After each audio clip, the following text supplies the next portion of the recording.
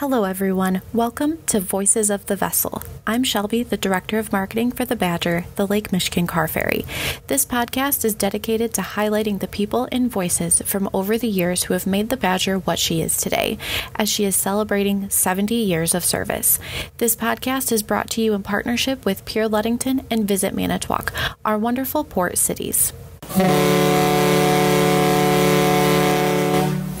I am really excited for today's episode. And this is something I've been thinking about since we started this series and has been a work in progress in all the best ways that I'm really excited to have with us Art Chavez for today's episode. Um, he's written some books about the badger, the car ferries in, his, in general, and is kind of the historian in a lot of car ferry facts. He's taught me a lot about the badger and just car ferries and as a whole. So I'm uh, proud to call him a friend and colleague in this and just really excited to have him today. So, Art, thank you for joining us today. Oh, my pleasure. Thank you. Of course. And I just think it's really cool, just like everything that you've done, you know, beyond just authoring books too. Like you've done some really neat things. And what got you interested in the car ferries in the first place? And how old were you? I was 10 years old when I first saw lights on the lake. I didn't know it was the Badger or Spartan, but it was one of the two.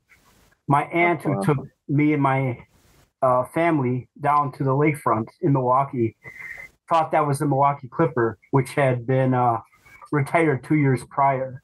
Oh, interesting. But she, said, but she said it was a car ferry, so she was right on that in that regard.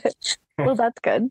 yeah, and, and then the next year, I, I later that year I saw it as a dotted line on the map too of Lake Michigan. Very cool. And uh, but I did see it uh, in 1974, the next year uh, when I was 11 years old, and it so was how, a badger. Oh, how neat! So she's kind of like one of the first ones you got to see. And it was the very first ship I ever car I ever saw was the Badger. Yep. How neat! And so, what was like your first memory? Like, how old were you when you actually sailed on the Badger for the or the car ferries for the first time? Uh, that was in 1975. So I was uh, 12 years old at the time. I went on the Midland. Uh, actually, the Spartan was uh, took me to Ludington. Went with my father. We wandered around Ludington during the layover. It was probably four or five hours. Walked around town, watched a movie, and then um, on the way back, we took the City of Midland. And the Midland is a completely different ship, and it was just a real treat to be on. That's so cool. You kind remember. of got both, like, kind of like the new and the. I, I did old at that time, but you got to experience both of them in one trip. I bet that would have been a really neat experience. It was. It was, and I remember it to this day like it was yesterday. It's fantastic. That's awesome. That is so cool. And so, do you know approximately how many times you've sailed across on the car ferries over the years? I really don't. I, I couldn't even tell you over a hundred times, but it, yeah, I was gonna say it has to be at least triple digits. Yeah, it was so natural to me. Um, it was like a second home to me uh, going aboard the ships. That's and the people awesome. were so accommodating, very, very nice to me. So it was like a family type of uh, situation. That's cool. And I mean, just to have that home away from home and being able to have that, that space, but they got to enjoy it with a multitude of multitude of people and create lifelong friendships along the way. Oh yes, tremendous. Yeah, that's amazing. You just can't imagine a, a young kid uh, growing up on the south side of Milwaukee, working class neighborhood, and mm-hmm. suddenly befriending all these people from a different state. To me, it was almost like a different country. I mean, it was just such a wonderful feeling to, to, to actually come into the Ludington Harbor and, and see this beautiful small port, especially when you're living in a big dirty city where a lot mm-hmm. there's there's interest in ships, but because it's such a large city, there's not the intense interest like Ludington or Manitowoc or Kewaunee. True. Well, and I have to laugh a little bit of I mean, I'm very proud to be from Ludington and call Ludington my hometown. But it's like I Wisconsin really has my heart. I love you know, getting to go to Wisconsin often and experience so many different facets of it. But I can almost say it's like a different country as well, of just like the differences. And um, I wouldn't say Milwaukee's a big dirty city, but at the same time. Like it's industrial. There's lots of things going on and just but yeah, it's very different from Ludington, for example. Well, at the Jones Island dock, people are greeted by being located right next to the sewage plant. So on a yeah. hot summer day, you get that stench. and it flies all around. It was just nasty. And you know, like random question in that one thing that I had been told, and I don't know how true this is, is that when Wisconsin was formed as a state, so much emphasis was put on the farmland and that they didn't really emphasize a lot of the waterways. And so that's why a lot of industrial, like when you look at how Manitowoc and Milwaukee were made, that do you know if there's any truth to that? Like, because when you look at the ports on the Wisconsin side are so different from the Michigan side. They are, but the reason why they were um, situated in the where they are is because of the waters at the mm-hmm. confluence of the Milwaukee, Kinnickinnic, and Menomonee rivers, yeah. which is why why Indian villages were settled there, and then eventually when um, it was settled by uh, the American progression to the west and Chicago too. I mean, yeah. the lakes were a big part of uh, the reason for settlement of the area. Oh, which makes perfect sense. Yeah. And I know that farmland in Wisconsin is pretty iconic oh, in its own way, too. Absolutely. Up north, maybe it might be a little bit different, mm-hmm. a lot more um, relevant. And because they are smaller towns, maybe the agriculture industry is far more um, uh, pervasive up there than it is yeah. But going back to your point, though, too, if I mean, you had to have the waterway to ship these farm goods to places. Exactly. That, yep. Yeah, and what a what a big part of Great Lakes maritime history in and of itself. Yep. Yep. Grain so, from from the prairies were uh, uh, transported on lake freighters, uh, package freighters, eventually the car ferries, destined to the east coast and beyond, even to England and the rest of Europe. Oh, for sure. I mean, it's so vital, especially when you just think about, yeah, how like geography and stuff that. Yes. What a, yeah, I, I like thinking about those things, but maybe that's just me. but what would you say you enjoy most about the car ferries? Oh, for sure, it's the people. I mean, the voyage yeah. is nice, um, but just getting to know th- these unique individuals as as friends, yeah, almost like family. You just uh, I just can't describe how important that was to my upbringing. That's that's so cool, and I know that you and I had talked about it um, before. Of just like, I feel that the Badger has you know this power to like connect people and moments in time and everything. But I'm so glad you know the Badger has brought people like you into my life and so many Likewise, others. I appreciate and, that as well. Yes, it is just but, true. It does bring a lot of people together. I mean, yeah, physically we bring people together, but really, like, how often now in today's day and age that you have the opportunity to like actually sit down with someone and have that four hour like uninterrupted time with someone you know? Very true very it's true. very fun. You got a captive audience. Yes captive literally. No i would say people make it a big um, thing for me as well. And what is something you wish more people knew or understood about the car ferries? Because, you know, they're not the everyday kind of ship. They are not. I just wish a lot of people realized they were even in existence. A lot of people still think they oh, don't true. exist. Yeah. I've heard a lot of people say, "Oh, the ferry's still around." Really? I thought it. I thought it shut down years ago. Oh, goodness. And I explained to them it doesn't carry railroad cars like it used to be, and it's not mm-hmm. as dirty and sooty, you know, as a railroad freight boat that it was yeah. then. I mean, if they would go aboard the ship now, if they went aboard 30, 40 years ago, they would be amazed. It's just a, a completely different uh, operation and just more mm-hmm. suited to the passenger in mind. Yeah. Well, it's funny too. Like a lot of times when people say, like, "Oh, I've been on the Mackinac Island ferry or the Washington Island ferry," and you know that ride might only be 20 40 minutes depending on the day that people are like what? Four hours? And then also of like i hear it a lot of like what? You can take a semi or a motor coach on a boat? Like they just have no idea of the history or what she could do that I appreciate you helping get the word out that we are still very much in service and have a bright future ahead of us. and yeah, it's um just fascinating to think about that. But when did you really start researching the car ferries? Probably, um, I was in junior high school when I started collecting newspaper clippings. Actually, I had a uh, a subscription to the Ludington Daily News when I was um, probably in uh, late junior, maybe entering high school. In the oh, really? Yeah. In fact, I I got to know Captain or Captain Bissell's son Dan. Mm, I got yeah. to know him through. He's a, a, great guy. He is. I wrote a a little um, newspaper uh, uh, column, not a column. What do they call it? A classified ad, looking yeah. for pen pals. oh, how fun! Interested. He in would be a great pen pal. And he was. but how? What a cool story of like, you know, and I don't know if pen pals are quite what they used to be, but what a fun like innocent thing to do and just a cool way to meet people.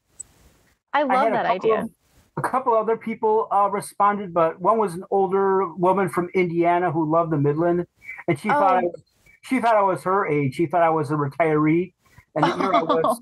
I was 12 years old. oh goodness! Yeah. and uh, and then a few other people. They weren't as serious as Dan Bissell was. Yeah. But I would say Dan Bissell, of all the people that responded, he was the one who who lasted throughout um, my lifetime of interest in the car ferries. So yeah. That's and I mean, and Dan is about your age as well. That yeah, talk about like a lifetime friendship meeting as a pen pal through the newspaper. Yeah. well, especially like, and I mean, being that I'm from Ludington, and I mean, I I love the Ludington Daily News, but um, did the Milwaukee newspapers did they have a lot of like car ferry type things, or was that more like was there more car ferry things in the, the Ludington Daily News? oh, there was far more coverage in the Ludington Daily News, but there were like um, photographs of interest, like the Badger coming into the harbor or the Spartan leaving, the Midland leaving. Oh, Just yeah. A picture along the lake shore and a little sentence underneath saying that the car ferry is heading out and heading to Ludington, Michigan, things like that. The real coverage in the Milwaukee newspapers when the abandonment was underway when oh. the railroad was mm-hmm. trying to abandon service. Then it made lots of headlines yeah. in the TV news. But think about the like I think that's a cool way to like just talk about like your dedication and the testament to like what the car ferries really meant to you that you would have the Ludington Daily News sent to you in Milwaukee. Yes. I think and I look forward to the mail coming every couple of days on paper. I think we might need to get that tos- testimonial over to the Ludington Daily News. I love that. That is neat. And so I know you kind of started, um, you know, researching the car ferries at kind of a young age. When did you decide that you'd like to write a book about the car ferries? Mm, that's a good one. Um, because of my uh, interest in the Ludington Daily News and the Milwaukee newspapers, I wrote to the editorial staff um, of both papers. Paul Peterson answered. Oh yeah. I asked, "Are you are you thinking about writing a book about the car ferries, the abandonment? It's a fascinating story. Yeah. Both newspapers responded. They said, We've talked about it, but right now we've got a lot of other things going on. Mm-hmm. And then I even wrote a, um, another letter to a gentleman who wrote a fantastic um, historical narratives, like a scenario of the Edmund Fitzgerald sinking. Oh wow! His name was uh, his name was Robert Hemming from Ohio. His book was called Gales in November, and I wrote him a letter asking if he'd write a book on the car ferries, but I never got a response there. Mm-hmm. But after that, then I thought, well, I might as well just start uh, saving information that hopefully one day I'll be able to write articles and uh, do my own books. And that eventually started happening. So, yeah. And do you, so how many books have you written? And do you have an idea of how many articles you've written? Oh, I've probably written probably 40 articles in magazines wow. and papers, interviewed on radio and TV. Mm-hmm. On that Deep Sea Detectives too. Uh, yes, I want to talk more about that too. I don't want to lose your train of thought though. No, no, and, and, and then the that. four the the four pictorial history books Mhm. uh, from Arcadia Publishing. Those are nice. But I've been, been Yeah. also working for the last 30 plus years on a all comprehensive history book on the Lake Michigan car ferries. Well, I'm excited to see that come together. Oh, a lot of people are. It's kind of a joke. Like, will he ever get it done? It's my, I call it my, I call it my 30 year joke. Well, you know, I'll buy a copy first thing. So I already sold one of them. But hey, what is it? What's the saying that all good things come in in due time? Yep, exactly. No sense of rushing it. Yeah. But how did this come to be with the episode of the Deep Sea Detectives? Um, the Deep Sea Detectives story came out in a series of three, two or three Great Lakes regional stories that the Mhm. Deep Sea Detectives crew was doing on the Great Lakes. And they contacted Brendon Baillod, who was the, uh, he is the gatekeeper of all um, shipwreck historical data on the Great Lakes. Wow. And uh, Brendon Baillod uh, knew my interest in the car ferries and my research. And when he heard they were going to, the Deep Sea Detectives was going to do a episode on the Milwaukee sinking, the Grand Trunk car ferry that sank in Yeah. 1929, um, he decided Art would be the perfect guy to contact. And Mhm. they did contact me, and eventually they that almost an entire episode was based on my research of the Milwaukee disaster. Really? Wow. Yeah, it was really neat. What year did that episode film? It filmed in 2005 and it was released early in 2006. Wow. And then the year prior, I think in 2005, I wrote a, a paper about the development of the sea gates on the Great Lakes car ferries. yes. And I won a writing award uh, from the Association for Great Lakes Maritime History. so that played so a cool. that played a thank you that played a big part in my um, uh, contribution to the uh, Mhm. episode on the Milwaukee sinking. And that's Well- still around. You can find it on uh, online. So- so- Yeah, and I've um have watched most of the episode, and it's so fascinating because it, it's like first of all, because I know you, and I was um, real young. That was almost 20 years ago. well, it is just I had a full like, head of hair. My hair was blacker. well, it is like, and some of the people when they're like talking about because the Badgers part of it of. I know some people in there, and it's like, yeah, they also had hair, but it was also like they showed parts of the ship where it's like that has not changed. oh, yeah. I thought it was just very neat. But I think what's cool too, and talk about this of, and please correct me if I'm wrong in saying this, but you basically discovered a missing artifact from the Purser of the Milwaukee. I did. I did. Yes. Um, in 1962, George Hilton, who was the uh, grandfather of car ferry history, he's dead now, but I did get to uh, meet him and talk to him on the phone when he was in his uh, retirement community. He's kind of a mentor of mine. So Yeah. that was the highlight of my car ferry life, knowing him.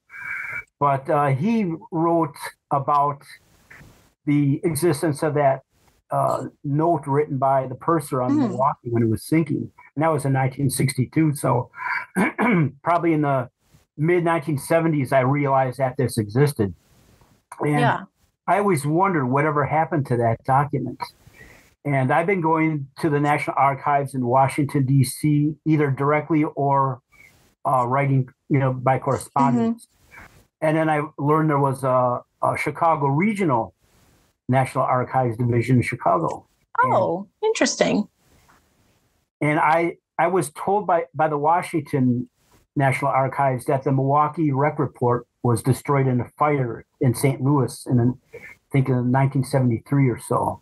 Oh, and I believed it was lost. So I discovered that there was uh, a court documents testimony of the Milwaukee disaster, and I went to the archives in Chicago and requested that file. And I'm going through the file, and I'm flipping through these dusty pages that hadn't been opened since 1931.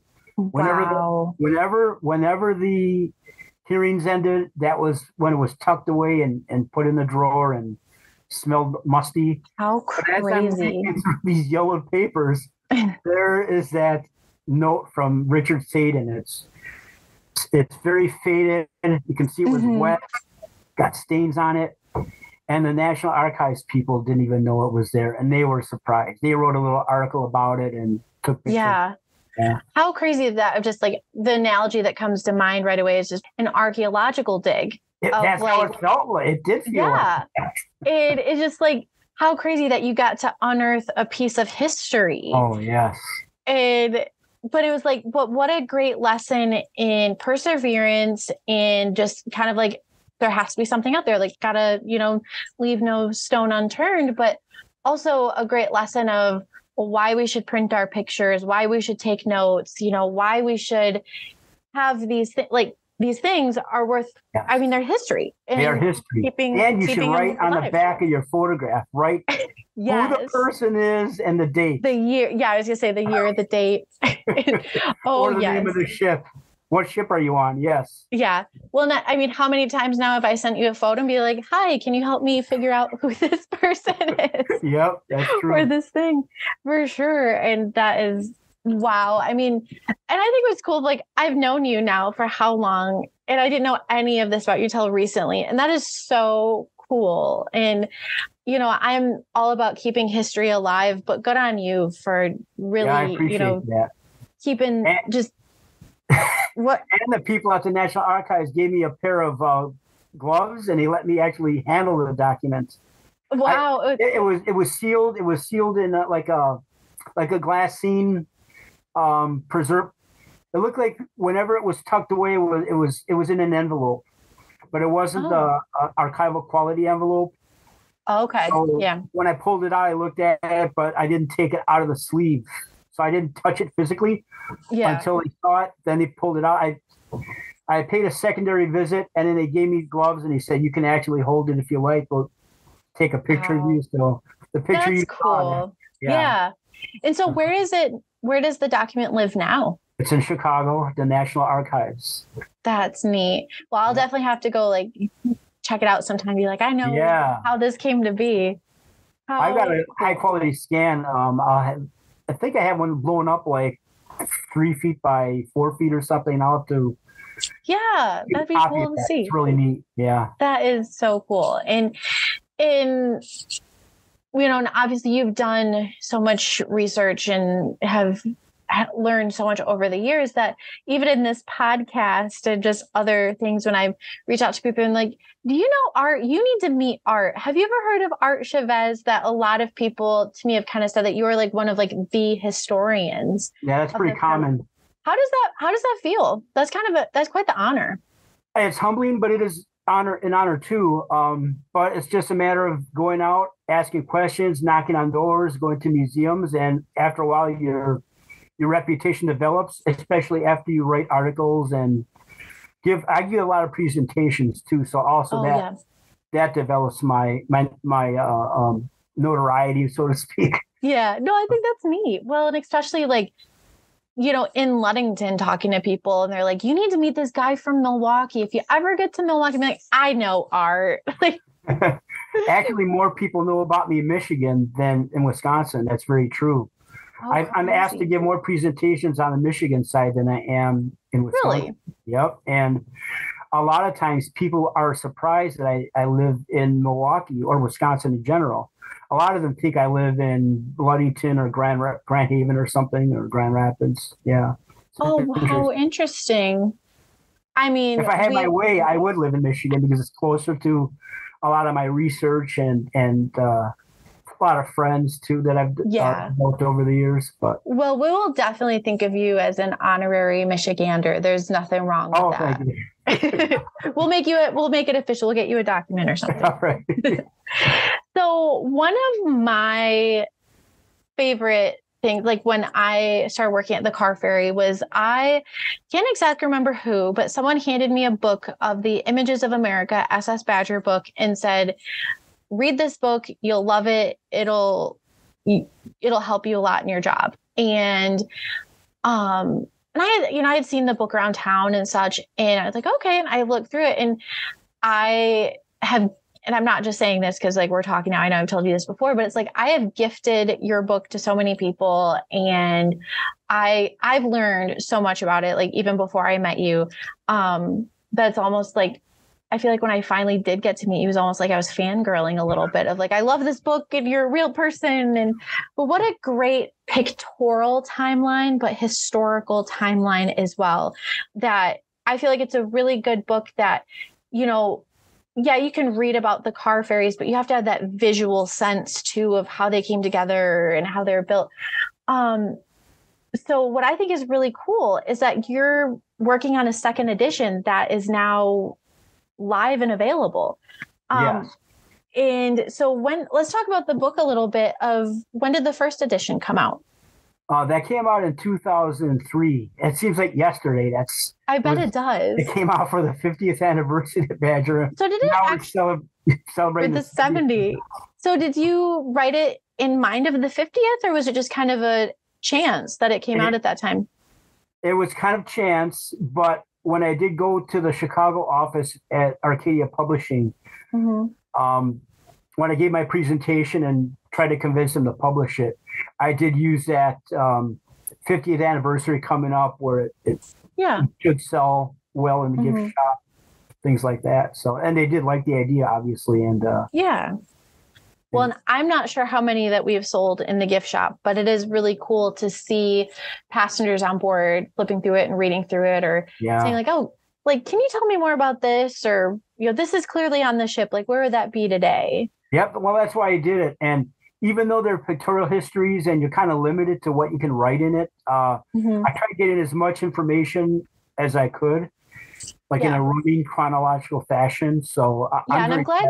I'm glad you said that because I mean I'm a very visual person, but I love learning and I love, you know, looking at like comparing of like the then versus now and everything but you have done a really good job of the stories the pictures tell the story but the yes. words supplement it in a way that it's like like it's taking me back in time back mm-hmm. to 1953 with all these that like I said, it's one of my like favorite books that I and I have a copy in my office that I'll often like flip through it and then I'll find myself like reading onto the next page. I'm like, oh yeah, why did I pick up this book again? Like because I feel like every time I pick it up, I learn something new. Because it's how and so when did you decide that you wanted to create a second edition?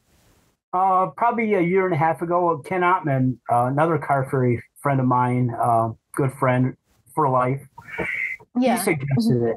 He's the one who suggested that I uh, uh, approach Arcadia and, and, to see if I can have another one published. So they agreed, and uh, I said I would like to leave the existing book as is, but because it you really can't change it. That that's yeah history already documented. But you also did did your due diligence and make sure that it was done correctly and accurately too. That yeah, there's it's a standalone piece in and yes. of itself. Yes. Um, but the updated version, I wanted to include what happened from 2003 to the present day, and a lot has yeah. happened to the ship, to the dock itself, and oh yeah, Ludington and, and Manitowoc, rebuilding it, the destruction of the dock with the storm. Mm-hmm. Um, well, in even in like the 20 years of because how many pages did that add on the second edition? Wasn't it uh, like 32 pages? So now it's it, 160 instead of right 128. So yeah, in 20 years, 32 pages, like that's a lot of history to cover. It is. But I also included a lot of the color images when the Badger oh, first yes. came out. So that was really mm-hmm. an important part. Yeah. Of the, for of the sure. And so, what has been like the best part about creating the second edition? Um, well, meeting you because I asked a lot of you, and um, just, it was like a highlight for me to work on this with you. I sh- I will say, like, it, I do appreciate that and I, but I truly mean that because like you know I have a background in graphic design and like bookmaking and after like reading this book you know pretty much cover to cover um that was neat to like get to help with it but it was just neat to learn your process and mm-hmm. how you mm-hmm. did all and thank you well hopefully I'll use your services uh, on other projects in the future of course you got me you got me for sure. But I just think it's so cool, you know, to think of the 70 years in general of how many pages again did you say it is now? Not 160. Yeah, 160 that, you know, there's so much to say in just 160 pages that easy for me to say you could double, if not triple Oh, that. I could. you know, Right. If they would let me just have a total manuscript book, it could be 300 pages. So absolutely. Oh, I'm sure. Indeed. And um so what are you looking forward to most about the second edition and people getting getting this copy? Just seeing the color photographs. I mean, that's just Mhm. unbelievable to me. I mean, just seeing the color images of the Spartan brand new right out of the Yeah. shipyard with the yellow C&O on their stack. I mean, that is just fantastic. For sure. Flags And- flying. Yep. I've seen the proof of proofs of it and I cannot wait to see the actual physical copy in my hand and especially the cover photo. I absolutely love. I mean everything about the book. I'm I'm just fangirling over here like And you Don't met the me. young you met the young man Trevor who took the cover photograph. yes. And drone shot. Was that the first sailing of our 2021 season? Yep, under uh, Interlake. It was the first Yes. eastbound crossing from Manitowoc to Ludington under Interlake Maritime Services. But what kind of a good way to start the book of kind of this new era, if you will? And I think that pays homage that I noticed these little details. Maybe that's Mhm. just me, but I think, and you've said it, you know, you do this because you love it. It's not because you're out to make millions, even though I I- think you deserve me, you that. do not make millions on Arcadia publishing books. well, I'll have to give them a call. Um, but no, um, it's definitely a labor of love, like from front to back in every single page, and most definitely. Yeah, anybody who publishes uh, Great Lakes shipping books, it's just a labor of love. There's no major money in any of it because you spend so much on research, uh, spending money on fuel, going to hotels, and whatever. So, Oh, for sure. yeah, it's a break even proposition at best, to be honest with you. Well, and it's something But that's that not the point we why we do it. It's no, but I think, but I just appreciate you putting this research down in a way that people are able to enjoy it for generations to come. And um, like I said, there was a woman last year that I met on board who it was her first time on the Badger. It was her first time, you know, going across Lake Michigan. And I don't even really know if she was really knew much about Michigan and Wisconsin in general but she was just super happy to be enjoying her time on the ship was blown away about everything about it. But she had gotten your book and she was looking through and she's like oh my gosh like i had no idea she's like i was just loving the ship how it is today but i had no idea how much love went into this over the years. And she was saying how she was excited um to go home and show her kids this book. And she's like look at the ship that i got to sail on. And just not every day you get to do that Yeah, that's nice. That's why I do uh, what I do because a lot of people get something out of it. They learn something, and it just perpetuates the history of the operation. Exactly. And we really appreciate your time and efforts in doing that because it is quite the history that even though I've been doing this job for almost four years, I am still constantly learning things that I had no idea about. I am too. It, it never ends. and it's just so fascinating. And there's been so many things that even you have like, I thought I knew something about the ship, and then you tell me a whole other side of it that I had no idea even existed. And it was really fun, you know, working with you on. I mean, you did most of the work, but talking about the stacks and just like the different stack logos and the eras that that represented. And you know, I know, a lot of that kind of translates to the book, but I guess I, I don't know if I ever asked you, did you have a favorite era of the ship? Hmm. Probably the Pere Marquette era. Um, Yeah.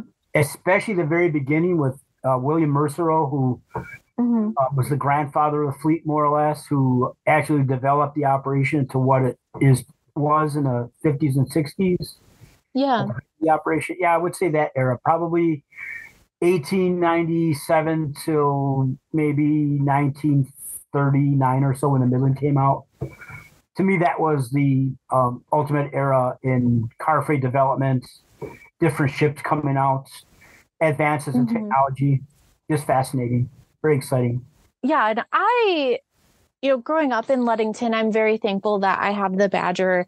Um, but especially like my dad is very quick to tell me of like oh this is nothing compared to you know seeing one one coming in and one going out that i wish i could have experienced some of that but it's easy for me to say that oh now the era like Mhm. that we're in now is my favorite because i get to experience that but i just think it's so fascinating that she really has stood the test of time through so many different things Oh, without a doubt. and and the historian in me is just always like so giddy to like learn more and things that I just appreciate that there's historians like like you out there that want to help it keep it alive for the future generations because that's what'll make the difference.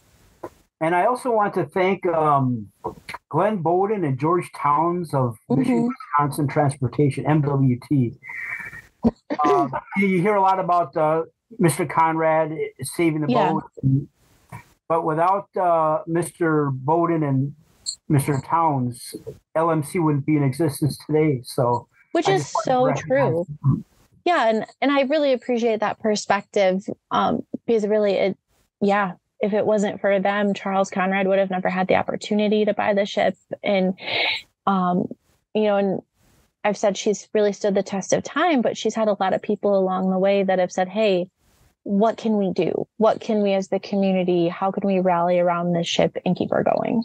Exactly. And there's been a lot of community involvement in Mhm. Ludington and Manitowoc, getting the Badger back in operation in 1991 and 1992 when Mr. Yeah. Conrad took over. So, without the help of Ludington and Manitowoc, also their involvement, Mhm. the ship wouldn't be in operation today. Took a lot Yeah. of lifting from a lot of people. So, yeah and definitely in both communities for sure and um it's just so cool to see and so back to the book really quick because i know you talked about it a little bit but do you have any future books or projects in the works I'm always working on different articles and that big all around history of the car ferries, my 30 year joke. But yes, that's. you're gonna have to like subtitle or like not sub like sub headline it like the 30 year joke or something now at this point Yeah. And no, I Um, think it's yeah. always cool the articles though, and like, and you talked about a little bit earlier too of the article about um the Seagates, Yeah. and I think that's so fascinating too because I had no idea that a was structurally a Seagate. Like, oh, it, it makes sense of keeping things in the ship, but what an important role that they do in just It the keeps everyday the water function. off, off the car deck, right? It keeps water out. Not watertight, but it deflects. yeah, I never would have thought of it that way. And I'm no able, no um, naval architect by any means, but I was just like, wow, how fascinating to think of. To me, it seems like it's a simple addition. It's something you see all the time. I but there know, but just think they didn't have one. They didn't. Yeah. It wasn't there when they first came out in 1892. Yeah. I don't know why they were. Uh, in the past couple of years, we discovered a drawing of the Ann Arbor Number One, the very first car ferry, and it shows a vertical sliding door that comes out. So it did have a Seagate Oh, in design on paper, but it But never, never- actually. Nope, it never came to be. Wow. Yeah, that's Interesting. it is very interesting. Do you think? And I mean, I'm sure we could probably have a whole discussion just on Yeah, that. do we think it- could but do you think it was like a budget cut or just- absolutely. That's always what it is. yeah. I interviewed a, a naval architect from the University of Michigan. He's retired now. His Mhm. Guy Meadows. He's Yeah. expert on all things uh, uh, architecture and marine engineering. And I asked him that very question about 15 years ago.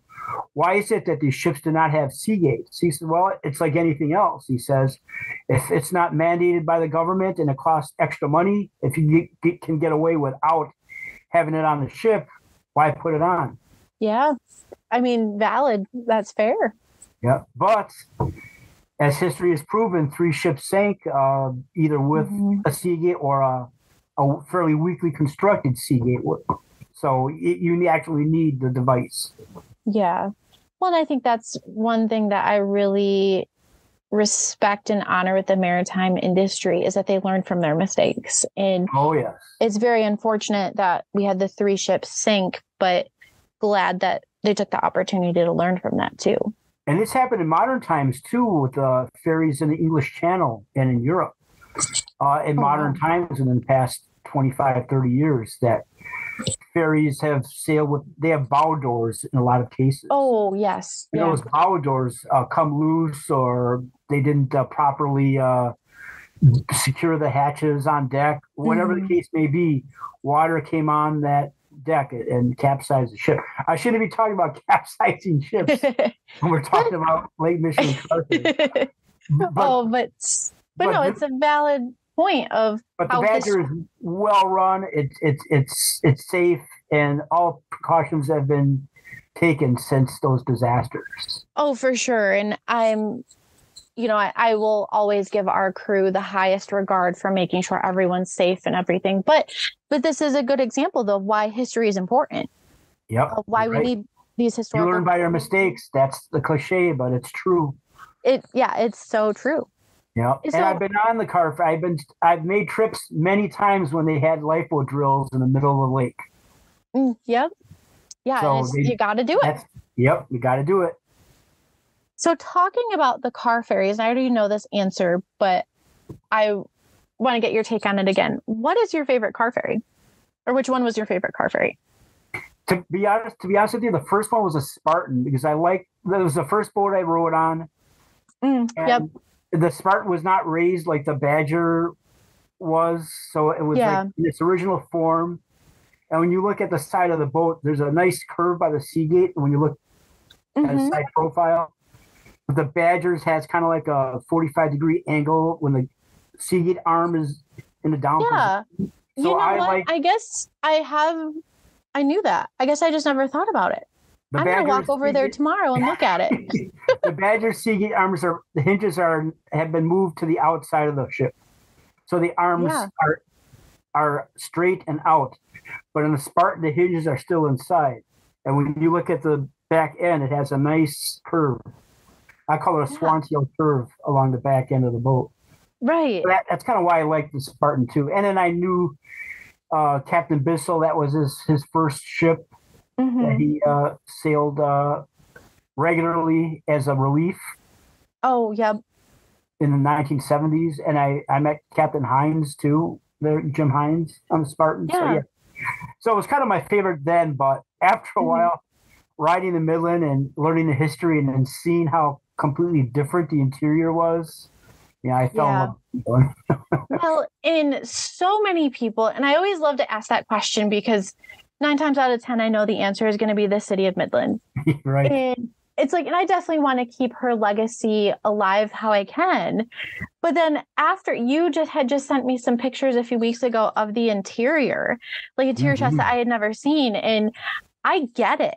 I can see just like that just seemed like I mean, I love lounging on the Badger, don't get me wrong, but just the city of Midland just had that class about her. Mhm. Um, and remind me again, what year was she built? 1941. And then they That's had a what I thought. promenade deck. It was a covered promenade deck Yes. went all the way around on the passenger deck. And you could, if it were really hot in the lounge or a lot of people in the lounges on the Midland, you could just go on the deck chair outside and relax. It could be raining, but you'd be fully protected by that overhead. Wow. So that was just unbelievable. that would be such a cool experience. You have so many great memories and things that I'm always so appreciative of you sharing. And, I can't help but be a little envious at times too. I can't can't deny that. Other But- people have told me that too, that they feel kind of envious that they weren't with us back then. But I'm envious too of like John Hausman and Jim Gregorski, who did uh, did what we did in the 1960s and early 70s, and they rode seven boats with the C&O, Yeah. four ships with the Ann Arbor, and three Grand Trunk ferries. So they saw all of them. Oh goodness. Can you so imagine? there you go. I, I guess it's just. Uh, Uh, I also uh, audio recorded a lot of crew members who are now passed on. Oh really? I yep, yep. I got to get those. Uh, some of them I transcribed already, but I want to either incorporate that into the big book hmm or uh, maybe just make a, a separate book with just their uh, reminiscence of the car ferries. So I don't know what I'll do, but that's something that also I'd like to Wow, that would be such an there. amazing addition. It is. It's Wow. good. So that's kind of a great segue into my next question. And this might be a broad question, but do you have a favorite memory that involves the car ferries over your many years of sailing? I've got a couple of them. Um, I remember being with Doug Goodhue in Kewaunee. Maybe it was 1983 or 1980. Doug knows the exact date. I don't, but Mm-hmm. um, the Midland was coming in. It must have been 11:30, 12 at night. Um, real still, calm day, no wind, and we were on the breakwater by the lighthouse. And the Midland was still maybe two or three miles out, and you could actually hear the bow wave roaring. You could hear just Oh, wow. whooshing sound. I mean, you might be able to hear that on the Badger now, but there's a lot more traffic in Ludington compared to Kewaunee.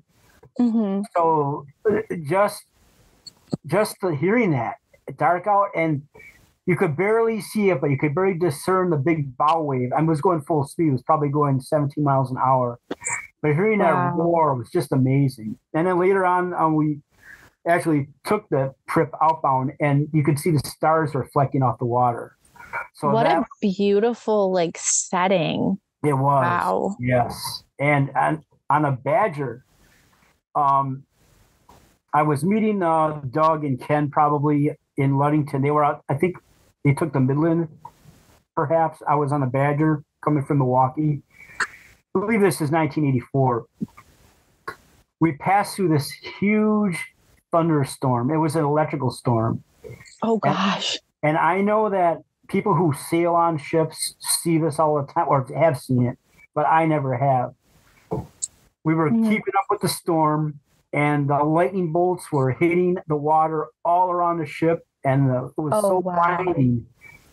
And the, the flashing was constant. It was just the most awe inspiring thing you ever want to see, and I'll never forget that.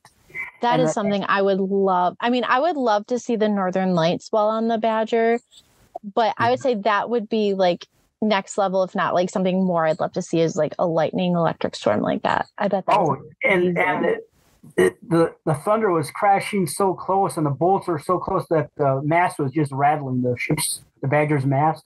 hmm It was just like Wow. shaking. It was just. it was the craziest thing you ever want to see, but it was awe inspiring. Yes. How cool. Mm-hmm. I'll remember those two incidents. I'll never forget those. They're fantastic. That is Yep. so cool. But there have been many others, but those two stand out. oh, I know. And I've been on some heavy storms in the Midland too. Um, a pretty bad one that um, I actually had to hang on to in the. I was riding in a pilot house. oh, I wow. actually I was on a stool and I couldn't um, I couldn't sit there without falling over, so I had to grab onto something. Oh, my goodness. Itching that much and carrying rail cars, you think, how are Yeah. those staying fastened on the deck? I know such an art and a science all in one with that. And yeah, and I, you know, I hear stories and see photos of just like I don't know how they did it back, and I see you know the loads that we carry today, and it's Mhm. amazing. But those loads are nothing compared to the full rail cars, Oh yeah, and they actually broke loose back in the day too. right? Cars would roll on the deck, or they actually come out come out of the stern of the boat, dump six cars into the lake. Yep. Yeah, Not a C&O boat; it was an Ann Arbor boat. So yeah, but still, just wow. Yeah. So, with the Badgers celebrating 70 years of service in 2023, how does it feel to be a part of that legacy? very humbling, um, but uh, I do what I can to preserve the history, and I continue to do so. So yeah, I'm proud of it. I actually am. My friends too. I'm not the only one who does this. Oh, Other for sure. friends of mine give presentations and write articles and do their their own niche part of Mhm.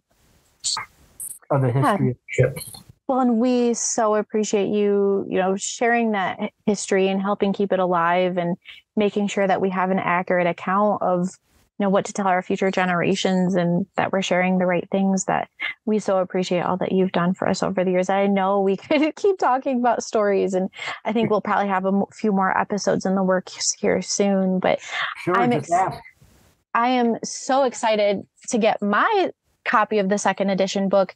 Um, and I know we'll have it available on the gift shop that we'll get that um, underway here soon for passengers to enjoy. But um, we look forward to keep them selling in the gift shop.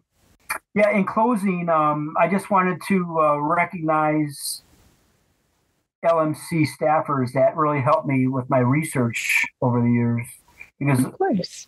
I wouldn't be able to um, know what I know and uh, without the help of Jim Anderson in particular and Chuck Hart. But also um, Charles Conrad, Bob Manglitz, while I did not know them, I appreciate their efforts to maintain the ship itself. But Kerry Carr, I worked closely with, Tom Hawley, Don Klingon, and Linda Doherty Matson. All of those people I may not have thanked as often as I should have, but I want to publicly thank them all for all they've done for me, fielding questions, doing favors for me, research requests, getting meetings set up with like the um, Bureau, American Bureau of Shipping in, in uh, Sturgeon Bay. Thanks to Jim Anderson for that. And Chuck Hart for over the years. And I know he probably thought, oh, this guy's bothering me again. but he always cheerfully helped me out with whatever research request, whether it was about Seagates, whether it was uh, engineering details, furniture, just answering all kinds of questions. And For sure. Chuck also, um, when the Midland was still there at the dock, he allowed me to acquire one piece of every uh, uh, device used to secure the rail cars. Oh, so I wow. Took, I took them home, cleaned it up, painted them, weighed and measured all these pieces. And I did donate all those to the Wisconsin Maritime Museum many years ago. So they've got. Oh, that's wonderful. Yep. Good for you.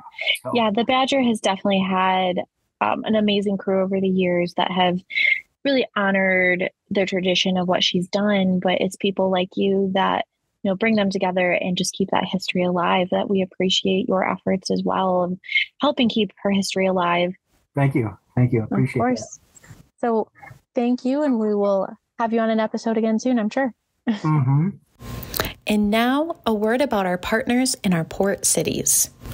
If your idea of the perfect vacation is sugar sand beaches, clear blue waters along 28 miles of Lake Michigan shoreline, outdoor adventures, climbing to the top of historic lighthouses, or exploring a charming downtown, Ludington is your destination for pure Michigan fun. Ludington's unspoiled natural resources offer the quintessential up north experience, all within easy reach, located at the intersection of US 31 and US 10. No matter what you're seeking a beach or outdoor adventure, a peaceful getaway, or just a community of friendly faces you can find it all in pure Ludington. As a Ludington native, I know I sound biased, but Ludington is truly an astonishing place. There's always something going on, amazing places to dine and get drinks, along with unique attractions you won't find just anywhere. Plan your visit today at pureludington.com. Manitowoc. The maritime capital of Wisconsin is the perfect vacation destination for those seeking adventure, a little relaxation, or a whole lot of fun. With sandy beaches, miles of biking and hiking trails, a real World War II submarine that you can both climb aboard and sleep on, a strong art scene, variety of breweries to explore, and array of annual events and festivals, Manitowoc offers so many unique and exciting options for visitors to add to their travel itinerary. As a frequent visitor to Manitowoc, I can attest to the thriving and charming downtown. From classic candy and ice cream parlors to outdoor music venues, there's so much to explore, experience, and enjoy in Manitowoc. I always look forward to going back. Start planning your getaway to Manitowoc, Wisconsin at visitmanitowoc.com.